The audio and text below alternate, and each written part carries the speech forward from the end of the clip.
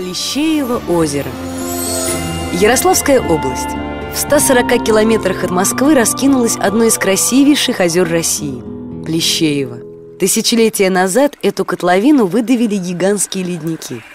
После их отступления впадина заполнилась кристально чистой водой – Изумительное по своей прозрачности, Плещеево озеро привлекает к своим живописным берегам художников, писателей, историков, рыболовов, охотников и просто туристов.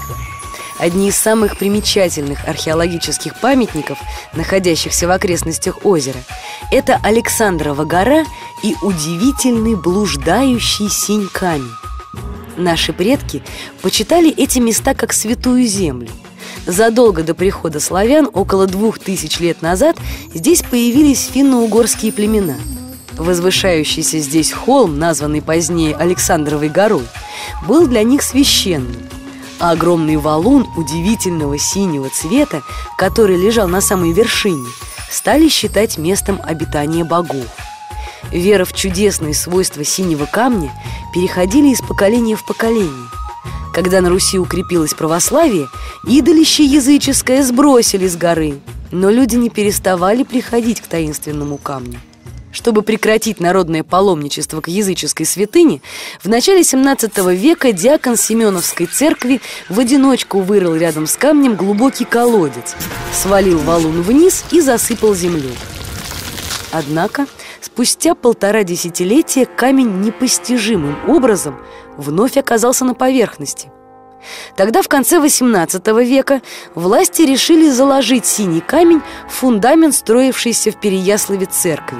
Валун погрузили на большие сани и отправили по льду озера в город. Но доставить его до места так и не смогли. По дороге лед под санями проломился, и камень оказался на дне.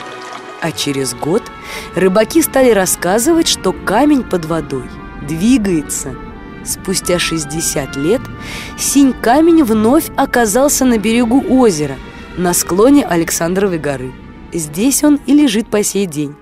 И к нему продолжают приходить люди в надежде на исцеление от болезней и исполнение сокровенных желаний. Плещеево озеро издавна называют «жемчужиной Залесья».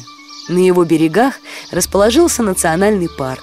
Здесь можно узнать историю городища Клещина, основанного в конце VIII века, услышать предания, связанные с родником великомученицы Варвары, который обладает целительной силой. Побывать в домике Пришвина. Здесь писатель прожил более 20 лет.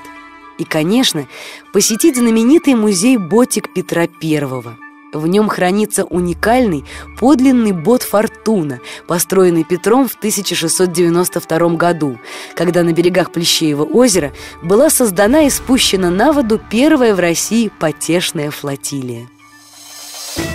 Плещеево озеро, душистые луга в полуденной дреме, лес, где пахнет грибами и кукует кукушка, смолистые сосны, студеные родники и кристально чистая водная гладь. В этих водах отражается вся русская история от древности до наших дней. Ярославская область, 140 километров от Москвы, Плещеево озеро. Это моя Россия.